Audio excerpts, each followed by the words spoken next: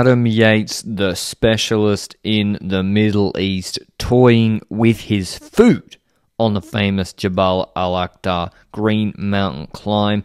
The stage was shortened. It's it's an easy stage anyway, but it was modified, 72 kilometers long. This is the profile last year. You can see it's just a Unipuerto walk up, watts per kilo smash fest up a 5.7 kilometer long wall. That was the stage where Jorgenson did his best climbing performance of his career up to that point, and then showed it later on in Paris Nice. But Van Sevenant actually beat him.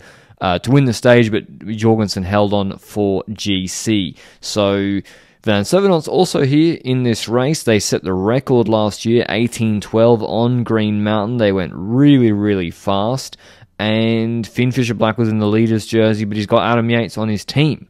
So Yates is, you know, you've seen him on Jebel Hafeet year in, year out in the UAE tour, which is on next week. He's very, very good in these sort of efforts. Breakaway went with Huub Artz as the best rider in that breakaway, the Intermarché rider. UAE, as I said, leading the uh, the race at this point, so they rode to chase the break with a couple of their dev team riders who are here in the team. You can do that with uh, races that aren't World Tour level. You can put your dev team riders up into the World Tour team to fill out the squad. But here we get to the climb. I don't know what the extreme weather was supposed to be. Maybe if it's under 30 degrees in Oman, it's extreme weather, but it looked pretty good, the weather to me. And Ulissi immediately started pace setting a tempo, and he's good on these efforts too. These Unipuerto efforts, Ulissi's very, very good at them. But Huub Artz dropped everybody else in the breakaway. He'd already lost quite a bit of time in GC, though. That was the problem for him. And then Adam Yates starts to set a tempo. Fisher Black's shoulders were rolling, and it looked to me like Yates would pace and not drop Fisher Black.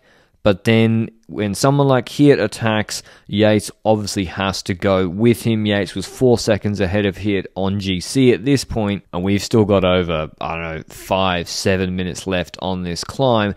And the tactical benefit for Yates is, and for UAE, is that Hirt has to keep pacing. Now, maybe he didn't need to keep pacing the whole time as much because Fisher Black, I think, lost 30 seconds to him but he has to pace, and that means he's got Yates getting a free ride, albeit not the best gradients to get a draft. There's still some benefit to it, and, you could tell almost immediately as they catch up to Huub Artz, who was really, really good actually, not to lose that much time. He ends up third on this stage. You can tell how easy Yates was doing it. He just half wheeled, hit the whole climb, basically, just sitting there. He had also won himself on this climb in 2022 when he was on Intermarché.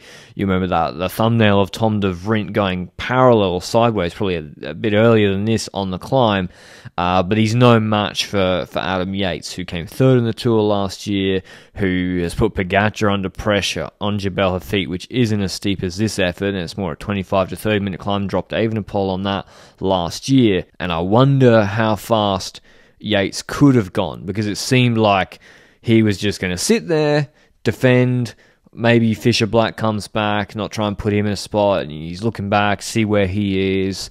Uh, you can just tell he's doing it easy, dancing out on the pedals. So I think Yates could have gone much, much faster. Still breaks the record though, uh, with like 6.8 watts per kilo for 1804. Check out the article linked down below showing all the watts per kilo and uh, climbing records from Jabal Al Akhdar over the years and with about 150 meters to go, he puts on the afterburners, and that's it. He says, "See you later, Jan Hirt." Puts 11 seconds into him in 150 meters. So I don't know who else is turning up to the UAE tour next week, but Yates is going to be the red hot favorite because he basically set the record on this climb in his sleep just sprinting at the end easily.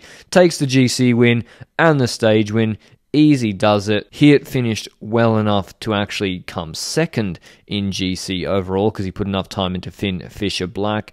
And Christian Rodriguez again did a pretty good effort on Arkea Samsic. He always seems to be do reasonably good watts in these sort of uh, walk up and whack it climbs, but then you don't see him much later in the season in like the Vuelta, for example. And then actually Ulissi out sprints Fisher Black and drops him at the end, despite having paced uh, earlier. But it all ends well for UAE overall as a team. One and three in GC, the stage win. It's just Fisher Black who loses out. Here's what Yates had to say after the stage. You know, we started off real strong with Muscat Classic, and uh, and then Finn won again another stage. So the team's been working really well. Um, you know, we also have the two young guys from from, from the UAE, and uh, you know, it's a nice experience for them to, to come here with us and and uh, and yeah, managed to win. So uh, um, all week we, we, worked really well and and uh, we managed to win, so it's been super nice. But here's the GC standings. Yates winning, as I said, ahead of Hirt, Fisher Black, then Ulissi, Rodriguez, Barguil. Van Seven, a little bit disappointing in 7th. Coulthard, Cobo, Far, Prost in 10th. A little bit strange, uh, the race, because yeah, there was a really bad weather a couple of days ago on stage 2, but then they shortened this. Not that it really makes a difference, but shortening this stage, where they do an extra 30, 50 kilometres of flat.